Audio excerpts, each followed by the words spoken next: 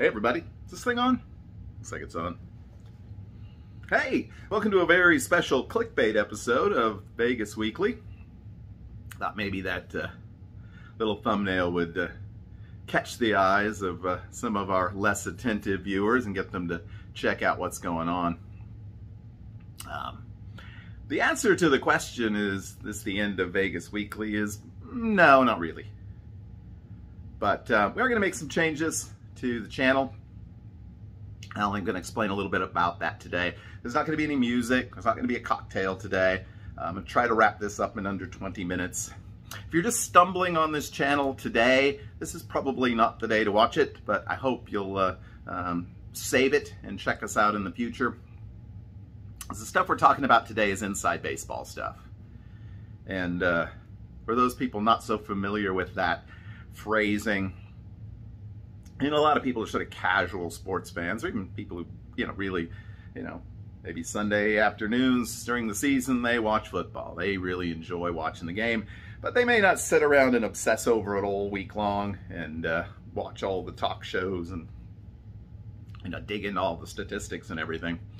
Um, when I was young, as a teenager, um, and even before that, I was kind of a big baseball fan um, at that time. I mean, I could have told you pretty much every player on every team. I collected the baseball cards. But I was really less interested in watching the games than I was in all of the statistical data. You know, I would get the sort of, you know, baseball digest and all the various uh, statistical things I could get my hands on. The sporting news, which was great because I had all the statistics and everything. And I just, I poured over that stuff. And that sort of stuff you know, can be thought of as sort of inside baseball stuff, all the sort of minutia. Um, and people love that. The people that love it really love it. Um, I, as some of you know, I'm a big NBA basketball fan, and I can sit around and listen to NBA radio on you know, the satellite radio for hours on end. Um, I'm just interested in it. Has nothing to do, you know, at this point, you're not, there's no game. So it's not like you're getting an enjoyment out of that. You're just getting the enjoyment out of talking about it and talking about the nuances. And uh, that's a great sort of thing to have. If you can get anyone engaged so much that uh, they become interested in all the minutia of uh, what you're saying, it's awesome. You know, I have observed, and this is anecdotal, and I'm sure there's a lot of exceptions. But as I look at a lot of YouTube channels from smaller channels with, you know, a few hundred subscribers to channels with millions of subscribers, one of the interesting things I've noticed is that most videos out of the gate, maybe within the first three, four days or so, it's very common uh, for the viewership to be only about 10% of the subscribed um, people for that channel. So you know, if you have 10 million subscribers, a lot of times you look and they got a million views. Um, in my case, I have about 1,600 subscribers, and generally that sort of 150, 160 is, is kind of where it tends to sort of level out. And those people are really committed and they know all the nuances of what you've talked about on the channel in the past and they're really interested in it and they're engaged with you personally and they know the inside jokes and everything. And it's really easy to cater to those folks. And what I've learned over the last few months is as I've done a lot of stuff that I, is kind of self-indulgent, you know, I walk around my neighborhood or I, I taste test chicken wings or macaroni and cheese or something, or I talk in great detail about you know, sort of statistical information about, uh, about my trips to Las Vegas that there's a group of you, and a lot of you are probably the ones watching right now, that really, you know, sort of you know, are into that. Um, and they kind of jump on that. And even the stuff the last few weeks where I've talked a lot about Vegas vlogging in general and live streams and, and, and walkthroughs and, and my perspective on those things and why I do or don't do the things I do, that fascinates a certain percentage of you. And so it's very tempting as you do these shows to, to make them sort of inside baseball shows. Uh, but that works a lot better with if you have 10 million subscribers than if you have uh, 10,000 or a few hundred. Um, and, and, we have not been growing the channel all that fast.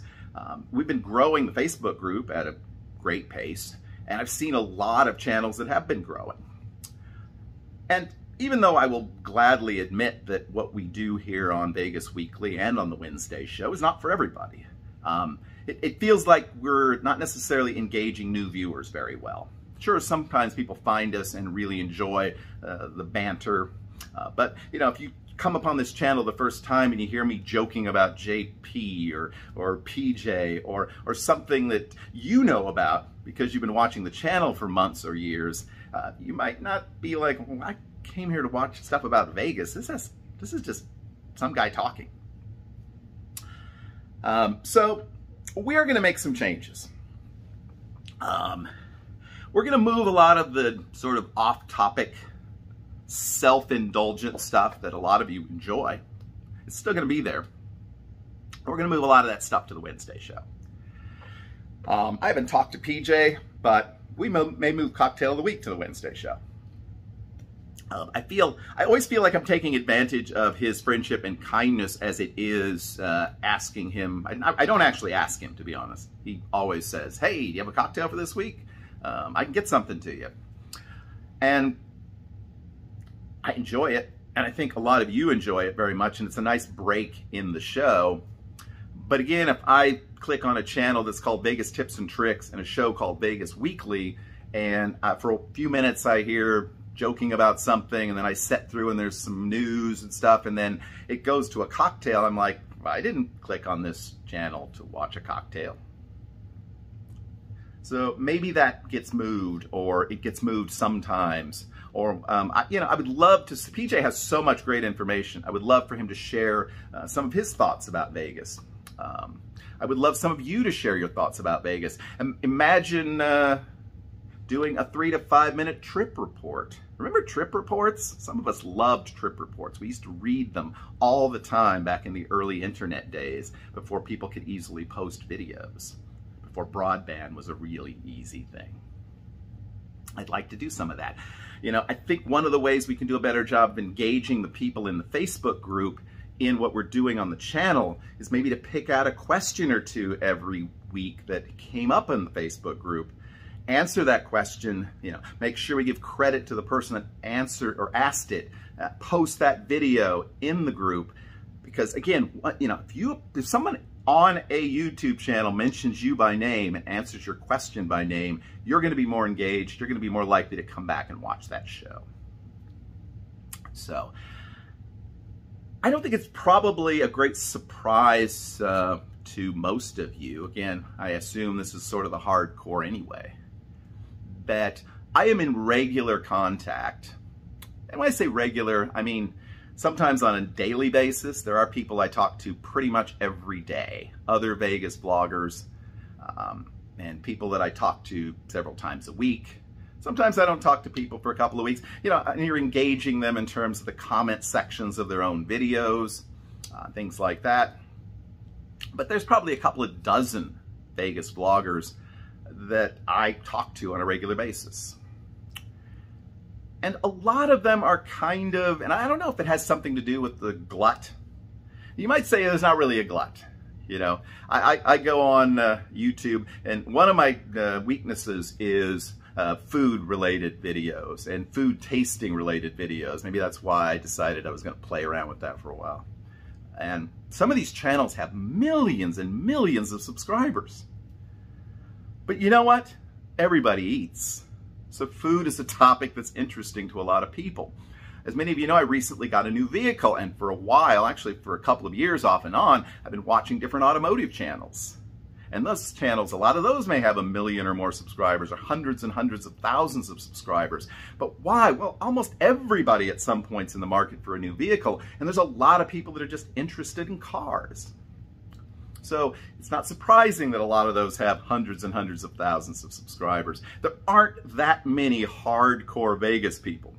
You know, I think the largest Vegas group on Facebook is, I don't know, 60, 70,000 people. That's a fair amount. We don't know how many of them are active. We've got 26,000 plus now in, uh, in the Vegas Tips and Tricks Facebook group. That seems like a lot, but there's a, a, a limit somewhere up there. You know, we've got channels that are Vegas related on YouTube, uh, 100,000 plus. You know, is that the limit? How high can you go? So I think a lot of channels have kind of been looking at themselves and reflecting on what they want going forward. And I know a number, pardon me, a number of folks are kind of thinking about stepping back a little bit. Um, some folks may be deciding they're not gonna vlog anymore, either because they're not it's not fun for them anymore, uh, the channel just never really took off the way they had hoped, and it's just not worth their time and energy anymore. And uh, you know they're just reassessing their activity on social media and on YouTube. And I think just this past few days that I've just had a lot of more time to just sort of sit and reflect on things, I realized that maybe that's what I've been doing. And, and that's why I decided to sort of reassess uh, the channel and what we're doing. When we first started this channel, and it, sometimes people, again, people have asked, well, good Lord, how come you've got 26,000 people on the group and there's only 1,600 subscribers? How come all those people don't sort of cross-pollinate? Well, it's different. And honestly, the Facebook group came before the channel the channel was sort of a supplement to it. The Facebook group has thrived, I think, mostly because at a certain point I decided it wasn't about this channel. It wasn't about me, but it was provide a forum for people, and it has become that forum for a lot of people. Um, and they feel a personal ownership in that, and, and that's why they gravitate towards it. Um, but you know, where do we go? I mean, I did a website that's been kind of moribund for the last couple of years. I mean, admittedly, last year, get a pass for that. Uh, we've done a podcast. We're gonna do. We're gonna keep doing that. Try to keep doing that on a monthly basis. Hasn't exactly gotten rave reviews. Uh, we've done pretty well with our Twitter account. We're closing in on 3,000 followers. That's pretty cool. I do enjoy sort of the banter on there sometimes. I have fun with that.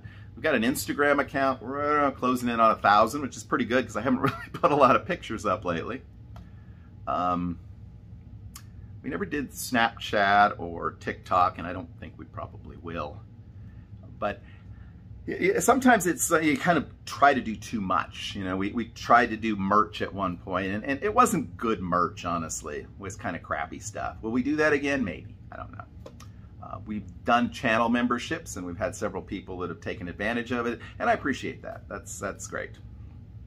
Um, and obviously we've been monetized and so we, we get a little something from Google every now and then. I'm going to say one thing and I'll start it with this show. Uh, we will monetize it. We will put ads on it. Uh, we're not going to, and I can't tell you what Google's going to do, okay? But um, I've basically said run ads anytime. Um, we're only going to click on pre-video ads. So if you're not premium, and you watch the show, you may have to watch a short piece to get into the video, but I'm not going to uh, click on the put, you know, put ads in the middle of the show. We're not going to break it up that way. So that's over. Um, we may do merch again too. I don't know. We'll see. But uh, not for now. Not until I feel like it's it's the right thing to do. So some of that, again, has just been me sort of deciding what to do. But, um, but yeah, so the Saturday show, which is Vegas Weekly, which is the show you're watching now, uh, we're going to try to focus more on Vegas. We're going to talk a lot. We're going to talk a lot more about comps because people seem really interested in that topic. It's something when I talk about it, it gets a lot of views. So we're going to talk about Vegas sort of comps and, and deals associated with that. I think that'll help. We're not going to change the name of the channel to Vegas Comps or something, but I think it's a niche that isn't necessarily all that well fleshed out. And so when we do uh, talk about it, it tends to get some, uh, some good press. Um, um, and again, to the degree that we do sort of uh, inside baseball stuff, we'll push it more towards the end of the broadcast so hopefully we get some people sort of setting through the rest of it, and then they kind of learn a little bit about the uh, the VT and T culture that has developed and the mythos that has developed of sorts uh, around the channel uh, over the past few years, which is, still fun stuff, and we'll still do that. Um, yeah, I mean, any sort of social media presence, any sort of YouTube channel is going to evolve over time, and I've seen that even with channels with millions of subs. we're going to try to engage some new viewers, going to try to bring some people in and get them to watch more of the show and hopefully uh, recruit them. So we're not going away. We've changed a number of times. Originally when this channel started, it was it was short videos taken in Vegas, little short clips. I think originally the sort of uh, the line was Vegas in three minutes or less. Well, I'm sure some of you wish this video was three minutes or less, uh, but that, yeah, that was the thing. Not so much uh, as it developed when we sort of ran out of ideas. And, you know, we were doing walkthroughs and, uh, you know, that kind, those kinds of videos when not a lot of people were doing them. And now, as you know, as I've said in the past, I don't need to walk through the link anymore. I do the room tours kind of for myself because I like to remember where I stayed, and uh, yeah, they get you know they get views. If you do walkthroughs and you do room tours, I am not criticizing you. And you know, I've had this sort of feedback with people. It's like, well, those those videos get a lot of views. I'm like, yeah, I know. I mean, I, I it would say, you know, it, I don't think I've ever had a just regular talking head video like this that got a thousand views, but there's probably 50 uh, sort of Vegas videos of one sort or another that have, and that makes perfect sense. Very few people like search on YouTube for guy talking about Vegas. Middle-aged man discusses Vegas. No, that's not what they're looking for. They're like looking for Paris room review. My Paris room review got a ton of views. So, um, so again, we'll have to reevaluate that on, on future trips to Vegas. Um, and it, let me let me make another announcement. So first, just to summarize things, the, the Saturday show, we're going to make it a little more streamlined, try to bring it in under 20 minutes, and also uh, focus more on things that pertain directly to Las Vegas. The Wednesday show is going to continue to be a free-for-all, where anything is possible where you might have a field trip, you might have some personal reflections, you might have uh, taste tests, uh, cocktails, anything goes. So some of you are going to love the Wednesday show, um, and some of you may not, and that's okay. I could make two channels. I don't want to make two channels. If you've got two or 10 channels, good for you, but that's not what I want to do.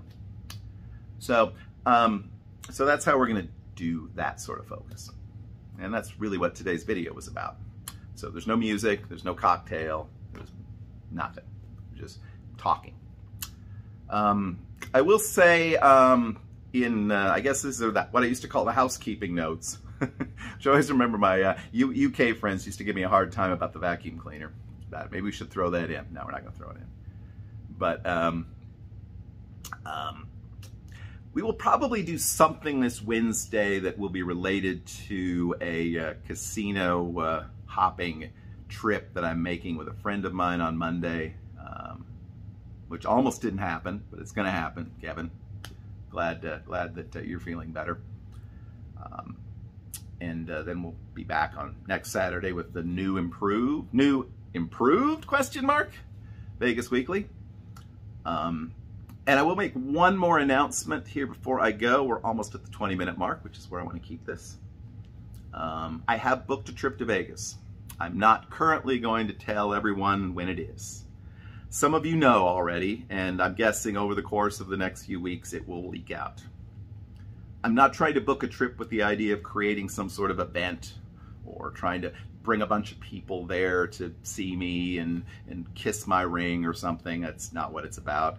Um, there will probably be some other Vegas vloggers around. I will vlog uh, what I do to some degree, uh, but I'm not planning any sort of get-togethers specifically for me or for Vegas tips and tricks.